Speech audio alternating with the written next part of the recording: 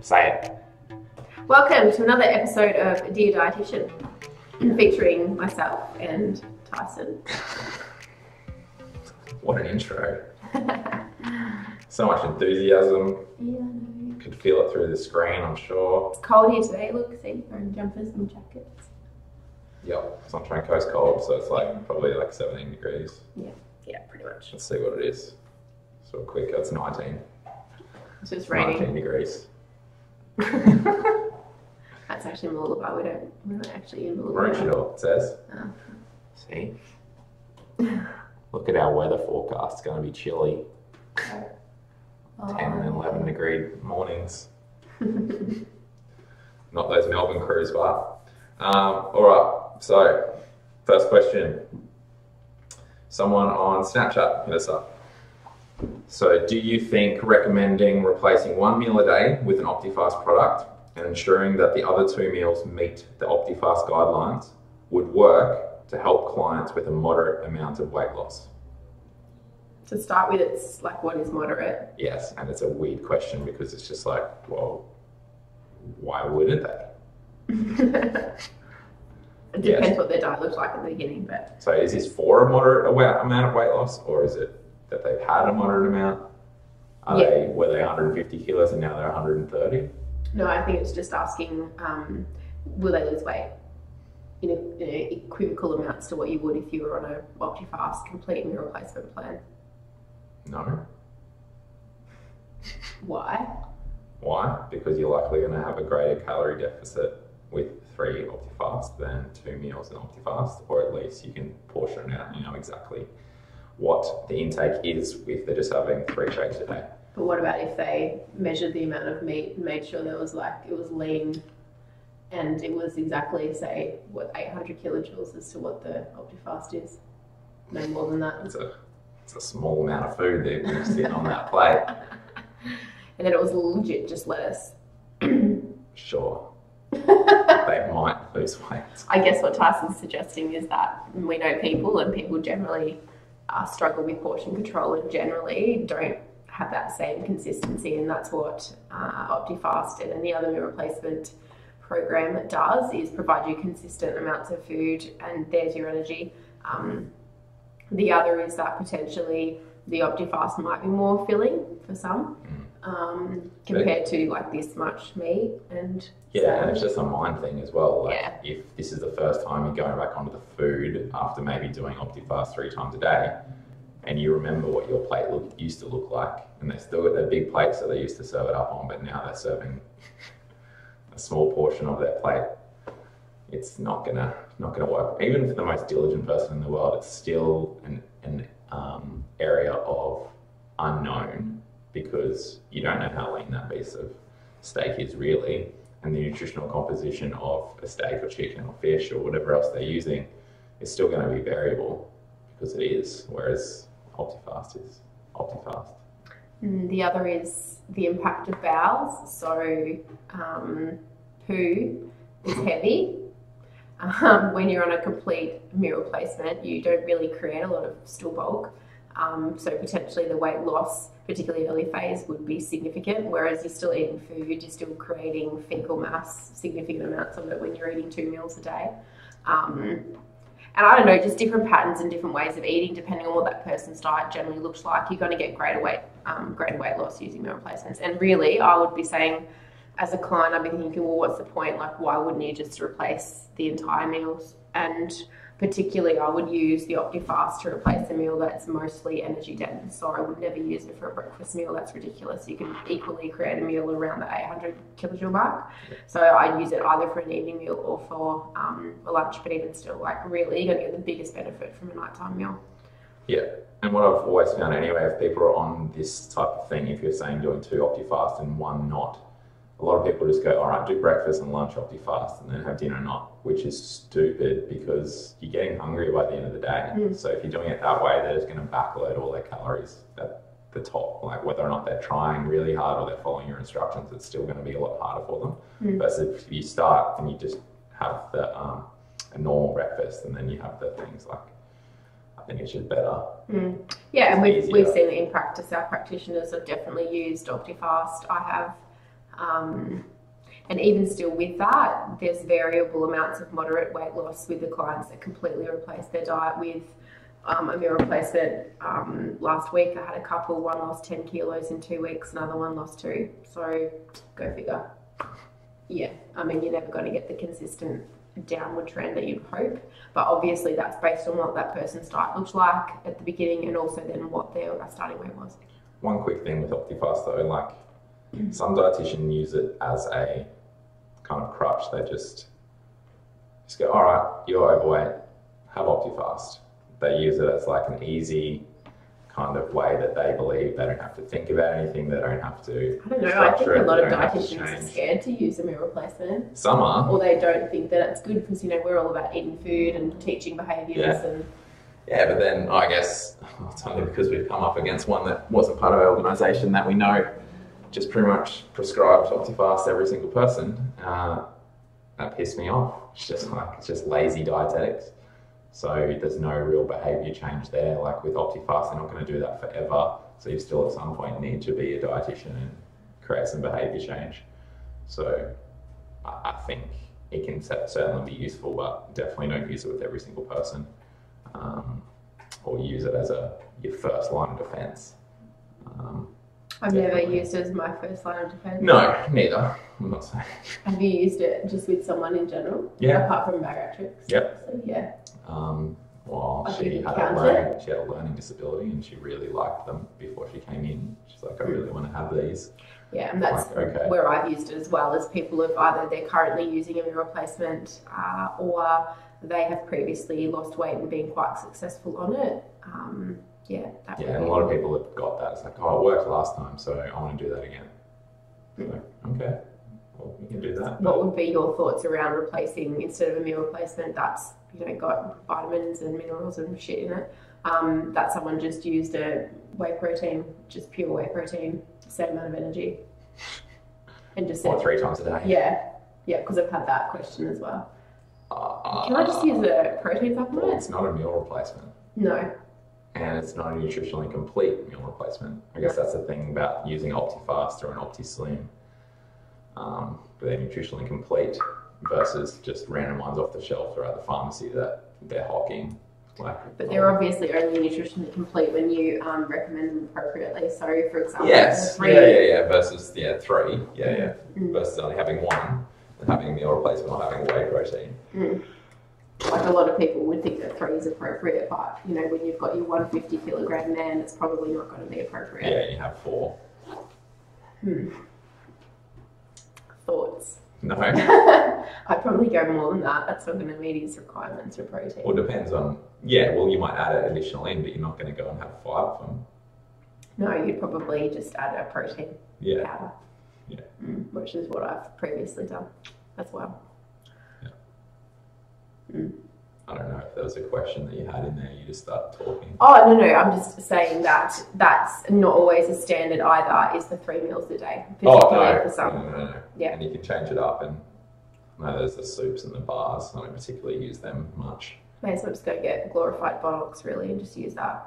But again, Glorified Bonox. Bonox. Yeah, like chicken noodle soup, bumps Oh. the noodles. Um, but obviously it doesn't have the add-ons. You know, there's no protein in that. Yeah. But yeah, I haven't tried the Optifast. I've tried them. And what do they taste like? Soup. Mm. It's fine. The bars are alright. That's pretty tasty. I think there was a chocolate raspberry one.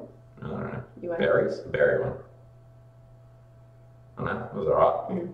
Just got to try this stuff. Yeah. Dietitians, get on it, You've been Go load up. lately. and then you can uh, inform your clients that you've tried the different things and different tastes and textures. They're pretty solid. If you put them in the fridge, they're like rocks. That's like most So protein I've bars though. that. Yeah. Yeah. So I tried it room temp and fridge. You know, don't do a fridge or or you do it in the fridge because then it takes you ages to eat it. So it's actually like a normal meal. So that's the other thing. Like the Optifast where I tell them to add a heap of ice and then Do you use blend it up. knife, knives and forks to chop it up and eat it? No, like George from Seinfeld. No. Uh, but you just nibble on it. Like out of the side, yeah. Um, but yeah, with Optifast as well, like, have we talked about already? Like putting the ice in and like making a blended thing so then and sucking it out of a straw, so it takes longer to actually eat. Mm. You can try that. Do that. It takes longer because when I did the Optifast and then you're just drinking it, you don't feel like anything because you finished it in 30 The seconds. other is blending it and making it into a smoothie bowl and eating it with a spoon. Okay. Mm, and putting like some berries and stuff or some passion fruit and things like things that they can obviously crunch and eat as well. And Mm. just change up. Well, that's why the ice comes in handy too. Yeah, I know, but then it's just really watery. Mm. There's always ways to make things more palatable long term. And just more from the physiological, yeah, wanting to chew something Mm. or wanting to take longer with it. So if it takes 10 minutes versus the 10 seconds that I would just to drink the shake. Mm. Anyway, Good. next question. We went down rabbit holes as usual. All right. May, hello. May I know if function, functional nutrition is what a dietitian practices? If not, how is it different from it? This is on Snapchat again. Remember, you can hit us up on Snapchat, Instagram, YouTube, Facebook, Yeah. wherever you want. Um, So yeah, is that the same as functional medicine and integrated medicine? I'm, I'm thinking this is what they mean. So we'll go with that tact first, and then we can talk about what we deem as functional nutrition. Mm. Because there's nutrition that you implement to make their bodies more functional. I would say, yeah, I would say that's probably related to supplements and It's probably naturopaths. um, Integrated medicine. yeah, I yeah. would say, no, it's not what we practice most of the time. Mm, There's a number of medical practitioners here on the coast that do integrative medicine and functional medicine, and my understanding is actually some cred about that, but they're GPs, they're doctors, so and they're Yeah, it depends on how it's how long a string is though. Like Yeah. there might be some, but then if they're wildly saying for everyone. But basically, no, that's not generally what we're taught or practiced. I remember doing one one subject, one lecture on yeah, like the different. I think there might have been an assignment on it, like doing like St John's Wort and all those kind of. Yeah, so currently I am reading the heaviest book known to man. Rosanna tries to pick it up, and I swear it probably kill her if it fell on Rosanna, her. her child. Yeah, um, on the um, evidence-based medicine of natural, um, yeah, natural supplements and therapies, and it's a very interesting read. It's extremely extensive, and it's opening my eyes up a lot. Um, can't say I would start supplementing. However, it gives me a lot more cred to be able to debate and um, debunk a lot of myths that people have when they're coming in around supplements. Um, so, yeah, and look, people like to take things. I understand that. Last week I took about three or four supplements off a client with salicylate intolerance because it smelt like it was so strong, these supplements, and they were coloured. And a nutritionist, who I'm sure probably was a functional nutritionist, gave her these after they did Vega testing and um, blood testing What's Vega testing? um, you know, like some sort of electrodes that they stick onto people and that feeds back to them and tells them they can't eat kiwi or Oh, okay, of course. peach. Of course. So, So is it about their aura, or is it just? no, that's some sort of feedback. Um, and the same with like the sticky blood, like they take the blood and they look for this like, the cells, and apparently she's got like like sticky. liver disease or something. Oh, okay, of course. So she's got poor digestion of fats because it's extra sticky. Mm. Yeah. So I'm sure that there are all sorts of things, and like I said, you know, she ended up with a vat of supplements that she brought to me, and you know, How much did you pay for them? Did you say? oh Would no. have been good. Would have been like three fifty. But as you know, someone with a salicylate intolerance, because she's got asthma and all the above, and she's been told she went to Anne Swain at the allergy clinic in Sydney, and um, at that stage she couldn't handle implementing the diet, but now she's ready. Um, so she came to me to change those things. Why did she go to the other person first? Who knows? I don't understand it because they still come back to us, and then her symptoms got worse because she started having green smoothies because she couldn't eat kiwi anymore, but she couldn't have as many greens. I'm like, that makes sense from a salicylate point, doesn't it? And she goes, yeah, I didn't think it made much sense, but I thought I'd try it.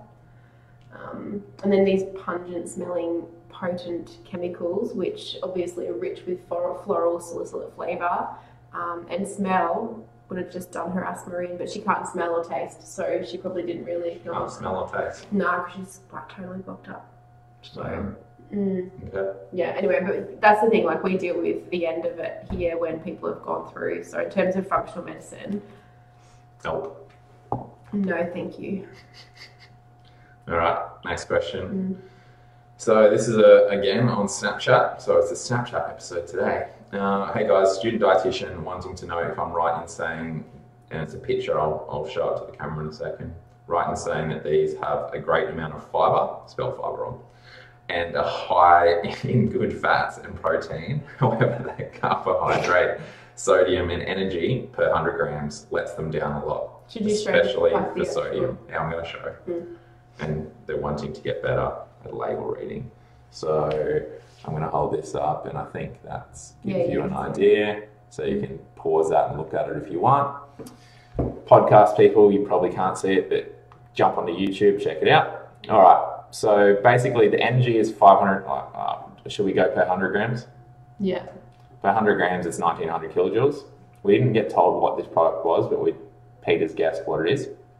Lentil chips, Lentil chips, we're bean thinking. chips. yeah, so energy 1900 kilojoules per 100 grams, protein 17.7 grams per 100 grams, fat total 20 or 21, and then the monounsaturated is 16.7 of that, and then carbohydrates is 50 grams per 100, fiber is 7.4 per 100, and sodium is 575. And of those carbohydrates, only two grams of sugar. That's why I think it's a, um, a chip, Yeah, so lentil chip. mm, given the fiber content. Yeah.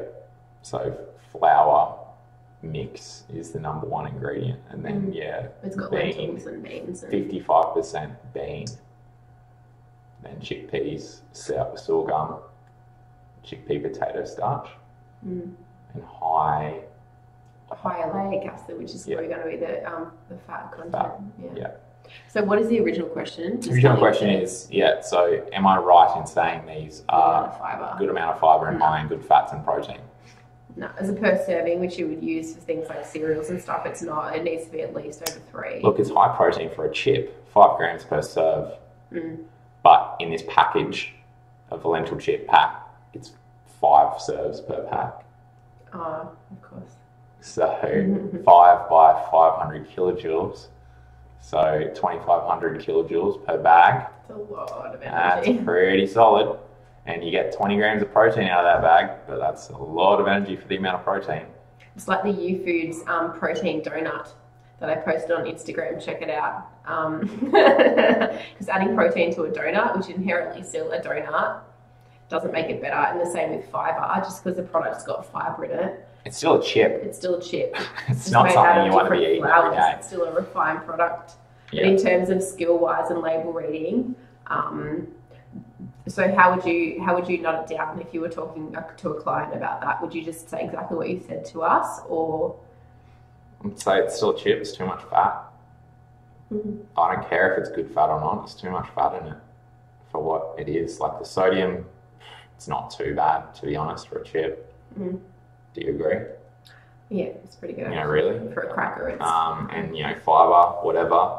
If you're going to choose a chip, maybe it's a good chip to choose, Mm. but it's still a chip. So I'd be like, yeah, nah, don't, don't really do that. So the way I would, yeah, the way I would work through that education is, say, for example, you're working with a client, their goal is weight loss, of course, um, and you're vetting your advice around that. So yes, when we're looking at snacks, um, obviously around the 500 kilojoule mark for a snack is probably not too bad for someone who's trying to lose weight, depending on their actual um, total diet. Yeah, but it's five But- per package. The serving size is only 30 grams. So it'd be like, Yeah. So what I would do with that client is show them what 30 grams is. Yep, and then I'd probably compare the weight of food to other alternatives. So, in terms of reading food labels and how I would educate a client, is I'm focusing on their nutrition goals. That's the absolute. Then you would focus in on whether this is a meal, um, this is going to be a snack, and what particular nutrients you want to focus on. Because if it's going to be a snack, really, I just look at the energy content. You could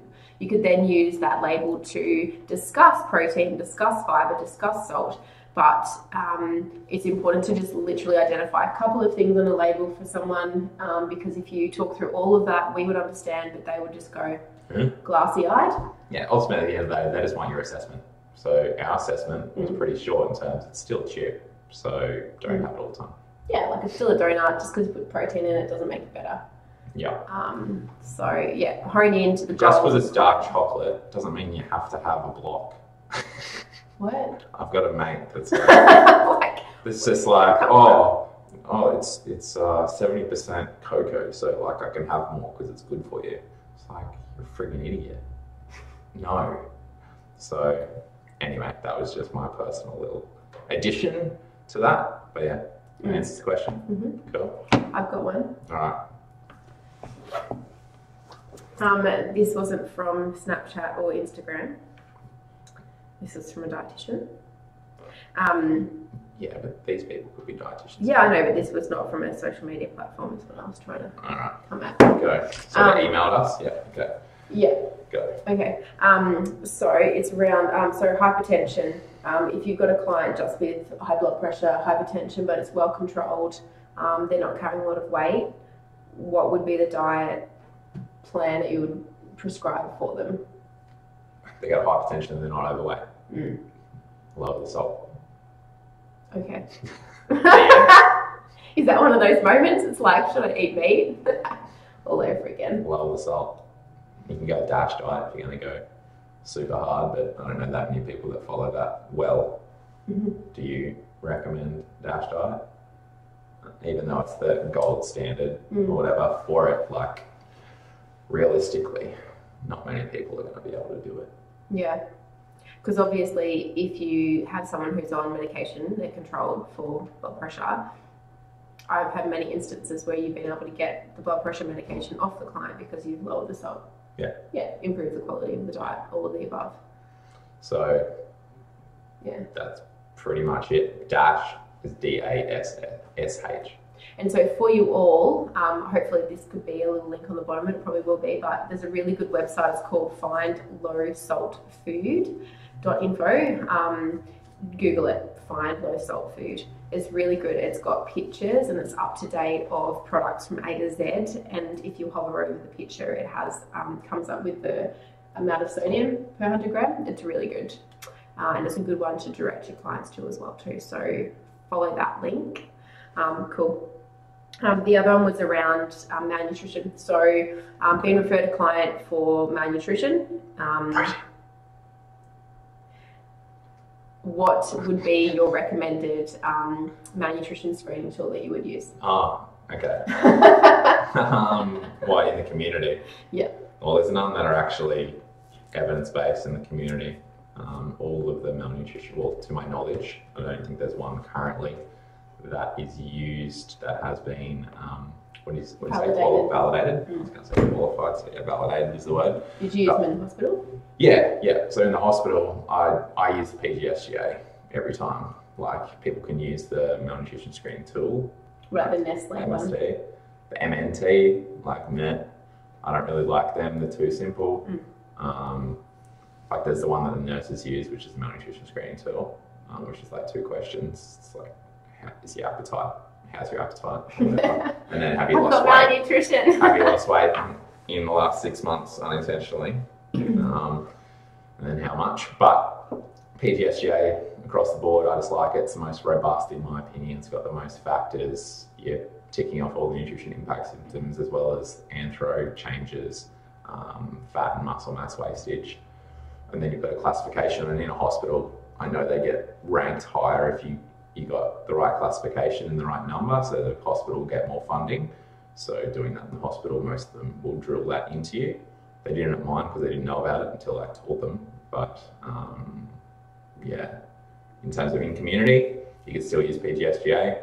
Um, but at the end of the day, there's nothing that's necessarily yeah, validated. So it comes down to what you want to Mm. use and what's suitable. But yeah, PGSGA, the patient doesn't actually have to tell you this. So, is there value in doing it? So, for example, if you know someone's malnourished, you look them like, is there a value in actually say, doing it? say, like when you get some experience, you you know when someone's malnourished. Like the moment you see them, you can see them walking down the street sometimes. or if you just walk into a nursing home, um, you'll see a bunch. But um, is there value? If you need that clinical justification for yourself to say it, I think there is. If you're reporting back to someone who may have a greater interest in knowing that classification, I think it adds weight to the argument and saying that it's not your personal opinion. It is something that was validated, even though it's not community validated. You've used a scale that has been validated elsewhere. Um, And so, in relation to where they fit, depending on that score, would your recommendations be different? yes, because if they're just an SGA, just SGAA, um, then that's the low end. So they're not that malnourished. They might be just at risk. Um, then there might be less recommendations around that. It's hard to say without an individual in front of you, but then B and C obviously much more intensive. If it went to C, I'd be absolutely smashing them full of food. I think it would be very rare for you to see a C in the community. It's more likely a hospital setting because when they get to that point, you're not going to see a lot of C's that are outside of hospital.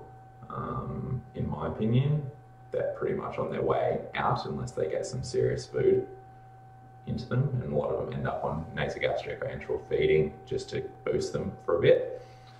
And with those little itty bitties that are, say, you know, 35, 40 kilos, and obviously they've dropped um, a lot of weight. 35, 40 kilos, you're going to be getting close to a C. Yeah, yeah, yeah.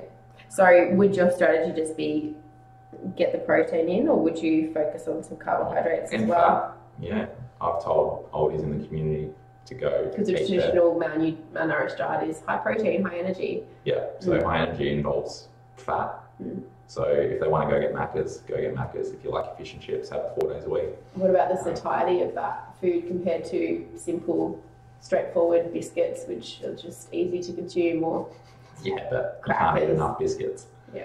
Unless they're going to make like lattice biscuits, which is like just like a cheesecake inside some fatty, fatty biscuits. Then yeah, sure, do that. But a lot of the time they enjoy having ice cream and things of that nature. So choosing going the other end of the spectrum and not getting the low fat one, get the full one. Change all everything to full fat. Just make it as nutritionally dense as possible. And again, it depends on the person. If they're itty bitty old woman, they've lost a lot of weight, they probably don't have much of an appetite, don't feel like eating. It's a tea and toast diet. Have tea and biscuits or tea and toast every friggin' meal. Um, so it's about making use of dense things like chocolate or ice cream. Um, and then, yeah, going out for food. Because often, as we know, the portion sizes are usually bigger.